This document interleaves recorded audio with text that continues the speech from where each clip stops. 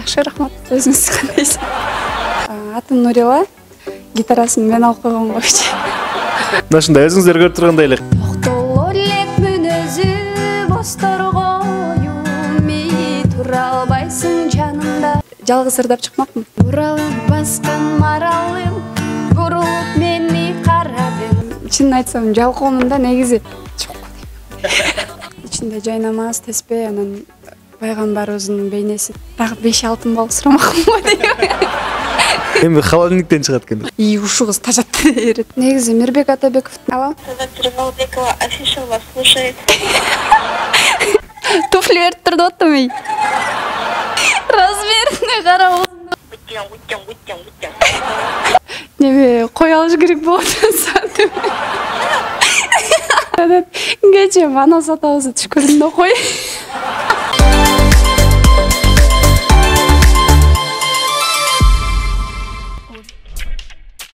көрдүм да кой ассалому алейкум урматтуу тк медиа каналынын жалпы көрөрмандары баарыңыздарга кутмандуу күн каалайбыз биз иш үстүндө программасын баштадык Э, бул чыгарылышта биздин кадырлуу коногубуз э, атайын э, сурамжылоонун негизинде келип отурабыз нурила кызыбыз менен бүгүн сонун бир маек болмокчу өзүңүздөр көрүп турасыздар гитарист ырчы аябай таланттын баары ушул кыздар десек болот андыктан келиңиздер биз менен бирге болуңуздар чогуу маекти улантабыз саламатсызбы саламатчок кандайсыз? Алгач эле сурооду мындай кандайсыз деп баштайм мен дагы э жакшы рахмат. Өзүңүз кандайсыз. Жакшы. Деги эле ушул э, кыргыз эли менен бир аз саламдашып алалы анан э, өзүбүз жөнүндө бир аз айтып өтөлү. Э, баарыңыздарга салам. Кирип келген жаңы жылыңыздар менен. Ушул каналдын көрүүчүлөрүнө өзүмдүн угармандарыма көрүүчүлөрүмө салам жолдойм чоң рахмат. Мынакей э, жакшы бир э, маанайда биз анда программабызды улантабыз Э, эң алгачкы эле суроо э, эки сөз менен өзүңүздүн бир мындай э, мүнөзүңүз жөнүндө айта кетсеңиз көпчүлүк көрөрмандарга деле кызык болсо керек. Алгачкы суроо Э, атым нурила. Э, ош областынын өзгөн районунан болгом музыкага кызыгам ошо музыкага кызыкканыңызды байкадык Э, гитараңызды колуңузда тургандан эле аябай таланттуу кыздардын бири болсо керек деп биз дагы көптөгөн э, суроолордун негизинде келип ушул сиз менен маек куруп отурабыз Э, ал эми мен суроолорду сизге бере баштайын. Бул кесипке сиз каяктан келип калдыңыз? Ким түрткү болду ушул ырчылык кесибине М, бул кесипке негизи апам ырдайт. Гитара менен анан ошондон көрүп кызыгып ошонун артынан келип калгам десем болот. Мындай бирок курска барып үйрөнгөн эмесмин да Э, гитара черткендердин жанында жүрүп эле үйрөнүп калгам Э, демек апаңыз дагы ушул ыр ыр жаатында музыка дүйнөсүндө э апаңыз дагы ырдайбы апам дагы ырдачу азыр көп ырдабай калдым эмнегедир гитарасын мен алып койгон койчу Э, мына ушундай э, бул кызыбыздын таланттарын али э, алдыда көрөбүз. Э, ырчылык сиз үчүн атайын бир кесиппи же э, хобби катарыбы же кандай? Э, азырынча кесип Э, бирок убакыттын өтүшү менен хоббиге айланып кетиши мүмкүн. Себеби баягы эми турмушка чыгып балалуу болгондон кийин калп болуш керек деп ойлойм. Жакшы биздин программабыздын э, негизги суроолорунун бири. Сиз негизи канча бир туугансыз анан э, кандай ошол жөнүндө айталы Э, үй бүлөдө эки бир тууганмын. Э, эки кыздын уулусу болом. Болду мына ушундай өзүңүздөр көрүп тургандай эле кыска нуска аябай сонун жоопторду айтат экен бул кызыбыз Э, жакшы таланттарын азыр көрөбүз анда э, программанын жүрүшүндө эң алгач эле бир чыгарма менен баштап алсак да э өзүбүздү мындай программада көнүштүрүп алалы жакшы бир ыр болсун анда сиздер үчүн келиңиздер көңүл буруңуздар нурила кызыбыз гитаранын коштоосунда ырдап берет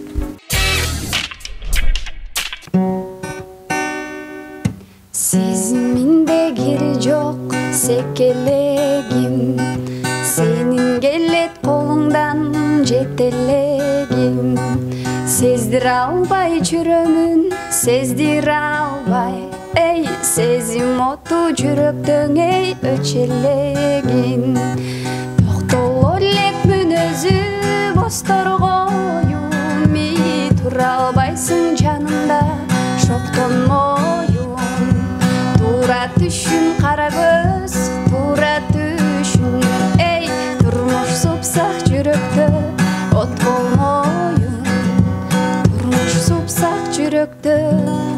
болмайын эх кандай гана керемет чыгармалар мына ушундай сонун бир ыры менен баштап алдык эми өзүбүзгө келип калды окшойт аябай сонун бир жакшы чыгарма менен кол болсун ә, анда кийинки суроо болсун ә, сиздин ушул ийгиликтериңиздин ә, башаты качан башталды анан кандай ийгиликтерге жеттиңиз мындай көзгө көрүнөрлүк деле ийгиликке жеттим деп ойлобойм просто өзүмдүн бир аз болсо да аудиториямды топтоп алдым ошол мен үчүн чоң ийгилик анан былтыр бир ыр чыгардык дуэт маралым аттуу буралып баскан маралым бурулуп мени карады булугуп сырым айта албай бурк этпей артта бараттым жарыкта өскөн маралым жаныңа жакын барбадым ошол жакшы ийгилик болду ал эми алдыдагы ийгиликтер дагы мени күтүп турат деп ойлойм мындай бийик бир тепкичке деле жеткен жокмун анчалык ошо эң биринчи жеткен ийгилигим өзүмдүн аудиториямды топтоп алдым бир аз маралым деген чыгарманы э, ким жазды эле каяктан чыгып калды кандай эргүүлөр менен чыкты ал чыгарма маралым деген чыгарманы неме болгон ошо инстаграмда отуруп эле мындай ой келген да гитаристтер көп экен ошол гитарист досторумду баарын бир группага кошуп сүйлөшүп бири бирибизден аккорд үйрөнүп э, мындай тажрыйба алмашсак кандай болот деп ошо гитаристтердин группасын топтоп ичине бир ондой адам кошком да. Анан ошол жактан элдияр деген элдияр малик уулу деген бир бала гитарист экен ал дагы москвада иштейт экен музыкага кызыгат экен. Анан ошол маралымды жазган экен өзү. Э, обонун жазып э, айдиса сүйгүнбекова деген кыздын сөзүн алып обонун жазган экен. Анан өзү ырдайм деп жүрөт экен дагы бирок баягы мигрант да. Өзү жумуш жумуш деп эле жүрө берип анан кийин ырыңды мага бер деп башынан бери сурап жүргөм анан кийин унчукпай эле бир эки үч ай өткөндөн кийин э, айтып калган. «А, алсаң ала бер ырды ырдап чыга бер бирок сөзүнөн разрешение сурап кой деп. Анан кыздан сурасак ал дагы макул болуп ошентип ырдап чыгып калганбыз. Негизи аны дуэт эмес э, мындай жалгыз ырдап чыкмакмын анан сөзүн өзгөрткүм келбей маралым деп эркек адам ырдаш керек деп анан дуэт болуп калган да.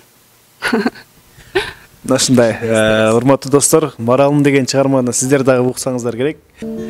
Анда маралым деген чыгарманы биз суранабыз. Э, ошол чыгарманы мүмкүн болсо ырдап бербейсизби анда. Э?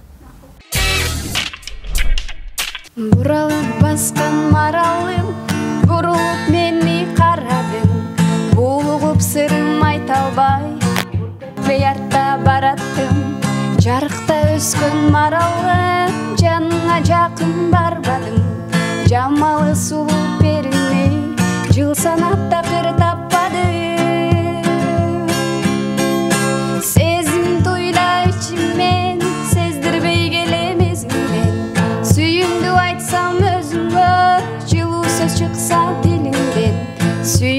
айтсам өзүңө жылуу сөз чыкса балдай тилиңден.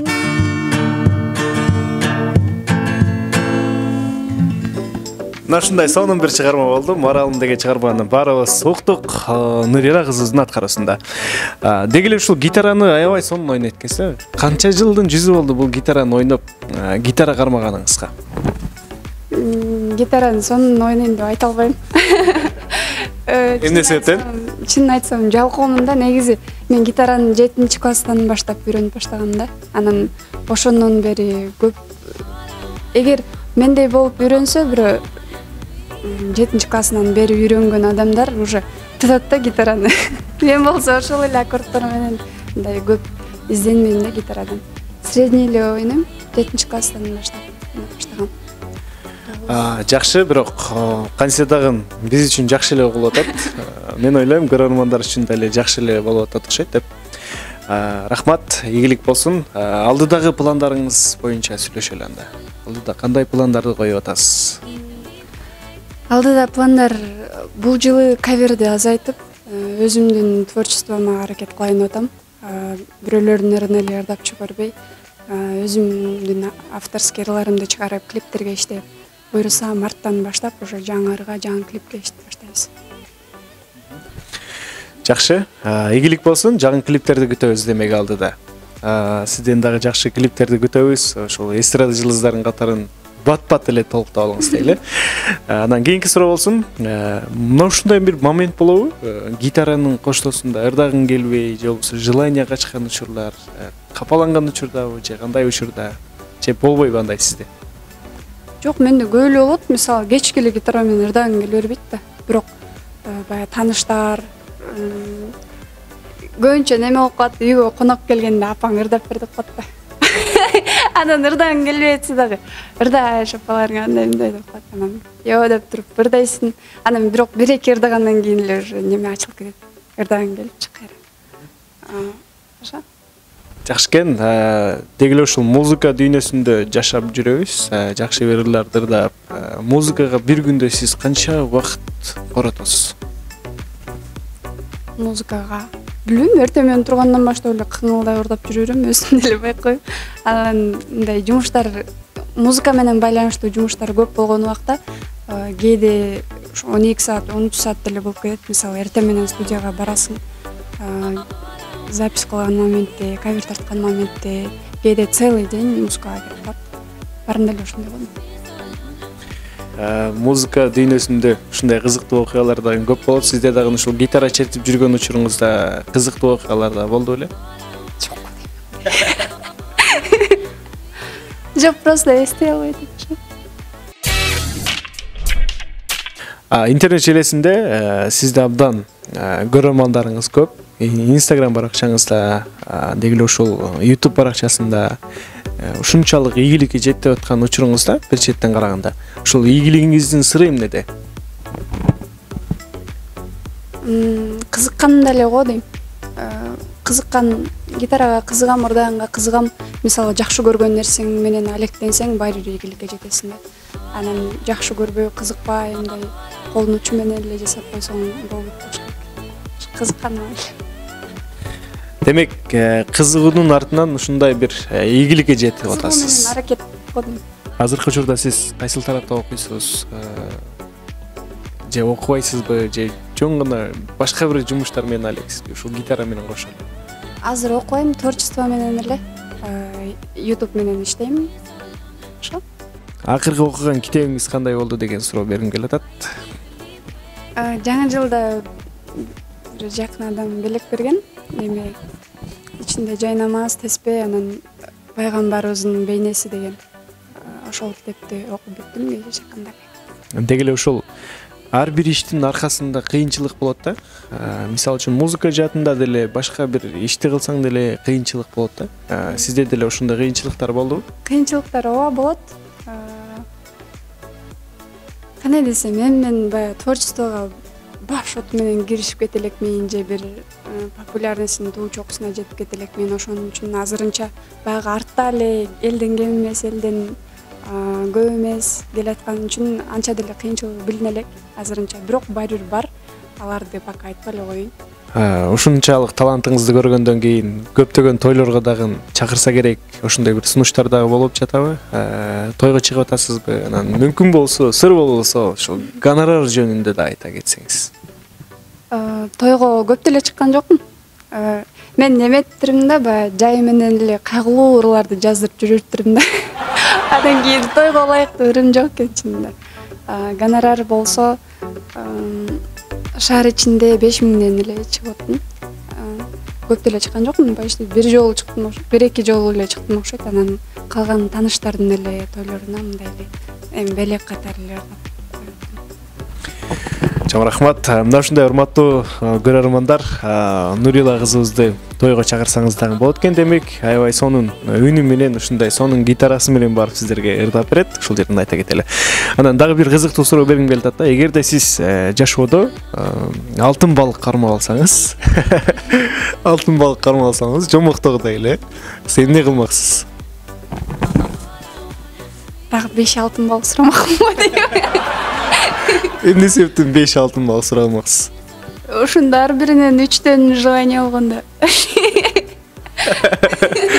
жакшы экен анда алтын балыктын алтын балыктары калбай калат го дейм э тамаша М, алтын балык кармалганда апам картайбасын демекмин биринчи очередь апам картайбасын оорубасын ошол биринчи желанием болмок анан экинчиси эми баары эле байлык ден соолук сурайт болуш керек. Ошол экинчиси.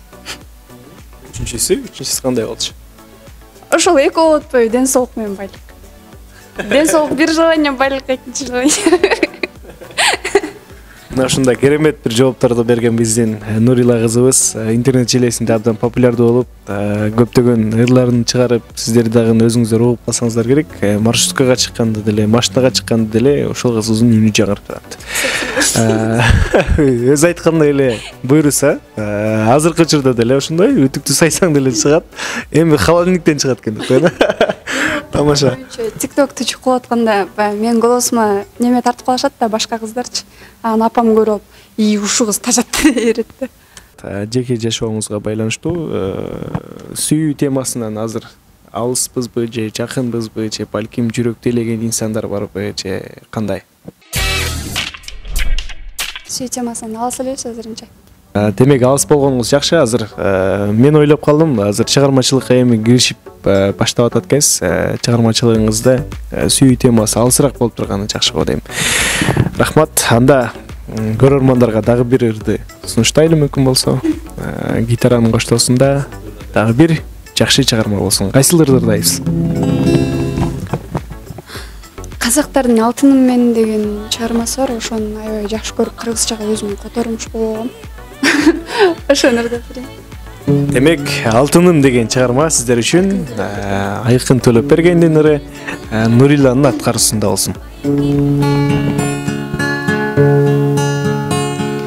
Кара көз эң алгачкы сүйгөн кызым көктөмүм жазым менин күзүм кышым. Армандап жыл мезгилин кандай күтсөм сен менин көптөн күткөн акку кушум алтыным менин кете бердиң амалым жок кала бердим. Жүрөгүм көдөңгө сыйбайт ай бул менин жүрөгүмдү кыйнайт ай алтыным менин кете бердиң амалым жок кала бердим жүрөгүм көдөңгө сыйбайт ай бул менин жүрөгүмдү кыйнайт ай кыйнайт ай ийгиликтер болсун. Ушунчалык бир керемет үнүңүз бар экен бул үндү сиз каяктан тарбиялайсыз? Жана вокалдарга катышасызбы же табигаттан келген ушундай үнбү вокалга деле барган эмесмин. Ушу мектепте музыкадан неме менен ырдачумун азыр ойлой берем ошондон болуш керек депчи. Тиги музыкадан берген эжекебиз аккордеон менен эле ырдата берчү да кечке кыйкыртып өкүртүп элечи башыбызга кийин эле кабинетте. Ошо рыспай абдыкадыровдун ырларын кыйкырып үнүбүз жетпесе деле ырдай да анан ошодон үнүбүз ачылган болуш керек деп ойлой берем анан негизи вокалга барган эмесмин апам жакшы ырдайт чынында ошо апаман өткөн болуш керек. Апаңыздын аты ким? Замира матаева. Мына ушундай замира матаева эжекебизге учурдан пайдаланып чоң саламыбызды айткыбыз келет ушунчалык сулуу кызды жакшынакай кызыбызды биздин программабызга жөнөткөнүңүз үчүн чоң рахмат демек кийинки суроо болсун кийинки суроо атактуулардын арасында кимди сиз кумир тутасыз балким кыргыз элинин арасынан балким дүйнө жүзүнүн арасынан негизи мирбек атабековдун нурлан насиптин чыгармачылыгын баалайм. Анан кумир туткан прям кумир тутуп ошонун адаттарын туураган адамым жок. Жашоодогу бир өзүңүздүн эң кубанычтуу күнүңүз? Качан болгон эле? Эсте калган болсо айта кетсеңиз. мен ошол баягы маралым биринчи ырым чыкканда аябай кубангам кубанып баягы элдер сонун экен дегенде ушу башкача сезим болгон. Ошондо айтылган го дейм эң кубанычтуу күн болгон деп жашоодо көп адамдар жалгандагын айтып келишет да бирөөнү чакырыш үчүн мындай пранкка салыш үчүн башка бир нерсе кылыш үчүн сизге дагы ушундай жалгандарды айтып пранкка салган учурлар болдубу пранкка прям публично салынган эмесмин бирок бир досум пранкка салган аябай обидно болот бирок жиним келип ыйлагым келип ушинтип экен желательно ушу пранкка салбай эле койсо экен дейм да М, слишком немемин да менчи слишком э, кандай десем вспыльчивая деп коет го мындай эмоциям бат эле мынтип сыртка чыгып турат да жиним келсе бат эле ачууланып кетем бат эле ыйлап калам анан кийин ушу пранктарды вообще көтөрө албайм кээ биркилер сабырдуу болот го менде андай нерсе жок эгерде ушундай учур болуп калса. Э, кандай болот анда? Сразу эле барып м, бетине жумала саласызбы жок мен көбүнчө ыйлап калам тез ыйлакмын мен негизи бир аз нерсеге ыйлап калам бир аз нерсеге кайра ыйлап атып ошол момент эле күлүп жиберем ошондоймун да ыйлап калат болушум керек мен пранкка салынса. А, демек иш үстүндө программасынын а, бир оюну бар. Кыска нуска А, азыр сиз өзүңүзгө жакын көргөнбү балким атактуулардын арасынанбы а, бир инсанга чаласыз а, телефонуңуз аркылуу чалып анан мен сизге мондой бир сүрөттөрдү көрсөтүп турам ушундай бир сүрөттөрдү сиз ушул сүрөттөрдү кошуп аны тамашага салышыңыз керек. Балким кандайдыр бир тамашага саласыз ал сиздин талантыңыздан бааланат пранк кылабыз мындайча айтканда анда кимге чалабыз М, саадат жыргалбековага чалып көрөлү э садат жыргалбековага чалабыз дириди ди деп ыртаган аябай жакшы кыздардын бири анда демек баштайбыз бисмилля алса экен эми чалуу кетип атат достор көрөлү канчалык деңгээлде канчалык сонун бир тамашага салат экен нуриланын талантын көрөлү ачылбаган сырлардын бири болсо керек алло Садат Жиргалбекова офишал вас слушает. эйтип эле офишал болуп кеткен эй кандайсың Жакшы да, өзүң кандайсың? жакшынакай эй неме Э, сенин размериң канча бутуң мага туфли керек болуп атат да кой неме бир жерге баш керек болчу кызыл туфли мен бутум размерге берем. Туфли берип тур деп аттым эй Мен бутум размери 36 37 болуш керек. Кичинекей турай эй бүгүн жаман жамгыр жаап атат го э бирок туфли кийбей эле неме кийип алсамбы пол сапог жамгыр жаап атат го эмне кылып атасың угулдай калдым Нурила. эмне кылып атасың. Мен үйдө эле жаткан болчумун. Бутум размери 36 37. А, анда неме экен кичинекей экен тикток тартып эле жатасыңар анан адилет экөөң Ага да, эмне сен бутуң ушунча узун узунбу размерине карап узундугун да билесиң Просто мен бутум 36дан узун көрүнөт. чоң көрүнөт десең узун көрүнөт Оттан эмне чоң көрүнөт. ай кудайбай эй неме эмне дейин деп аттым эле эй силер качан машина аласыңар эй лексус алгылачы бир эй билбейм лексуска отура дагы Көрдүм качан машина аласыңар деп. Левый ноги вставать. неме эмне кылып атат Экөө деме кылсак сонун болот эле. Деме кылсак сонун болот эле, эртең баары демебизди жеп салышты. Тартабыз буюрса менин балам эмне кылып атат ызылдап атабы агзам абайлай неме болуп калбасын могу ковид күчөп атыптыр го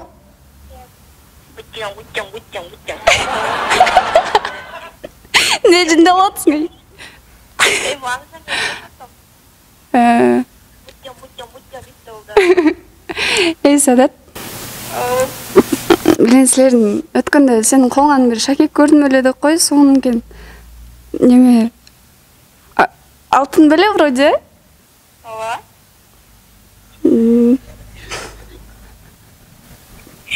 Да айта албай атасың, айт. Эскеле. э блин ошол шакегиңди берчи мага неме кой алыш керек болуп атат Койдум. Ма, не албайсың? Нас жакшы десиңби?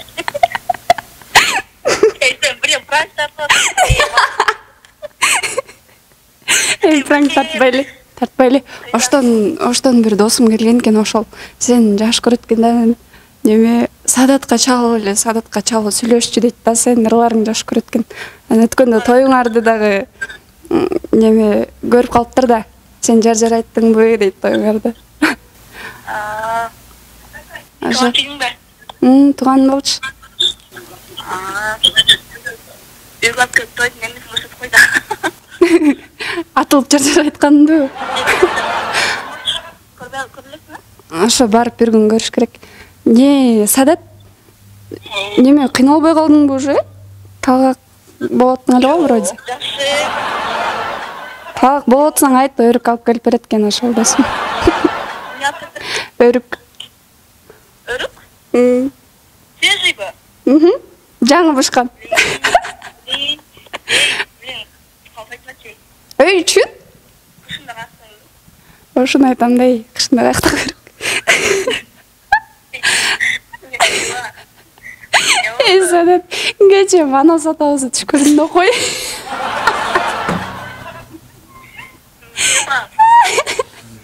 эй саадат бирин кечирип койчу тамаша бул неме болчу пранк болчу чынтек Ошо айтпадымбы сен жөн жөн. Чалып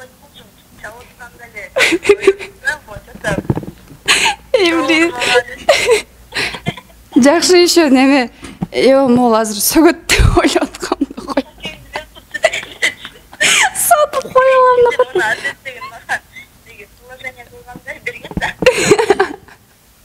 Э, ошол жерине келгенде мен деле ойлодум а сөгөт болуш керек могул десем сабырдыкү еще. Чоң рахмат. Э, саадат жыргалбекова саламатсызбы? Мына ушундай бир э, программа тартып атып э, нурила кызыбыз сизге тамашага салды. Чоң рахмат аябай таланттуу экенсиз